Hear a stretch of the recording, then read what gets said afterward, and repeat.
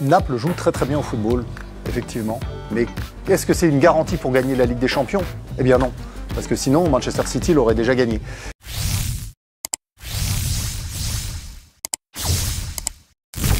Le Napoli devient-il un favori pour la Ligue des Champions? C'est oui pour Nabil Djelic et non pour Xavier Barré. C'est un peu notre classico hein, des grandes bouches.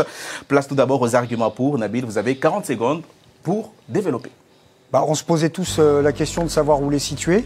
Bah, je suis désolé, ils, se sont imposés comme des patrons euh, du côté de, de, Francfort. Pour moi, ils sont passés du statut d'outsider, comme d'autres, à celui euh, de favori dans une Ligue des Champions où ne se dégage pas de machines collectives incroyables. La meilleure équipe du moment, l'équipe la plus en forme en Europe, c'est Naples. Elle a quasiment plié son championnat. Pour moi, elle a le numéro, meilleur numéro 9 actuellement au monde. Il est nigérian. Il s'appelle Victor Osimhen. Le collectif est impressionnant. Zango, Zambo Anguissa, c'est venu Yaya Touré au milieu de terrain. Donc je vois pas pourquoi cette équipe-là, elle pourrait pas espérer aller au bout dans une Ligue des Champions qui a déjà été remportée par des équipes comme euh, Porto euh, ou d'autres. Donc, euh, donc je vois pas pourquoi Naples ne serait pas aujourd'hui un favori. Alors on enchaîne avec euh, les arguments contre portés par Xavier Barré. Ouais, Naples joue très très bien au football, effectivement. Mais est-ce que c'est une garantie pour gagner la Ligue des Champions? Eh bien non, parce que sinon Manchester City l'aurait déjà gagné. Donc, euh, pour gagner la Ligue des Champions, il faut avoir l'expérience des grands rendez-vous.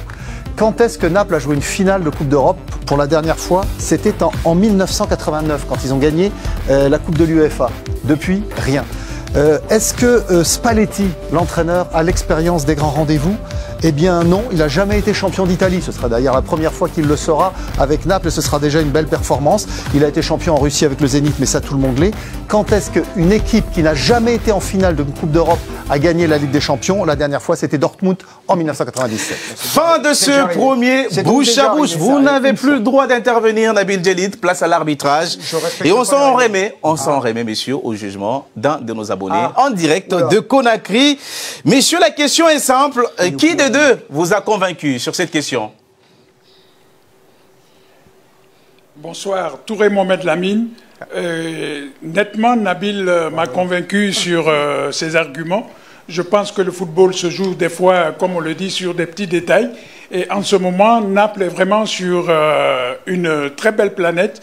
Donc l'histoire que Xavier est en train de dire, c'est vrai que ça peut se faire, mais je pense que Naples aujourd'hui, avec Ossimène, avec, euh, si vous voulez, euh, le, le, géorgien dont le nom est très ah oui. difficile à prononcer, ouais, ouais, ces garçons aujourd'hui sont pouvez, en train vous de pouvez faire... prononcer Vara. Vara, ah ben, c'est bon. Voilà, voilà.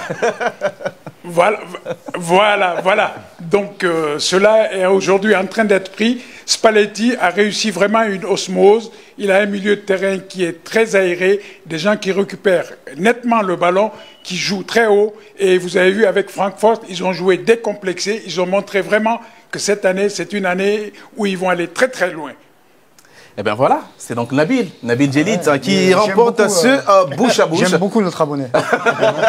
dès que je passe à Conakry. Ah, il avait les couleurs de la Il faut qu'on se voit dès que je passe à Conakry.